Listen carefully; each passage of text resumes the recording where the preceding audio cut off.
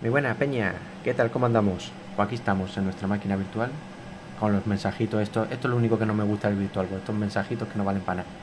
Pues nada, hoy video tutorial sencillito de VirtualBox, de nuestra máquina virtual. Te voy a enseñar cómo meter ISOs ahí, para que parezca que hemos metido como si un DVD o un CD se tratara. Esto es muy fácil, nuestra máquina virtual. Nos vamos a dispositivos, como DVD, CVD, unidades ópticas y vamos aquí, seleccionar un archivo de disco. Buscamos. La ISO. Donde esté descargada, fíjate, aquí está, Microsoft Office 2003 y tachan, ya se nos ha montado la imagen, fíjate, ahí tenemos el CD como si fuera un DVD, fíjate que rápido va todo. Ojalá los, los fueran así de rápido.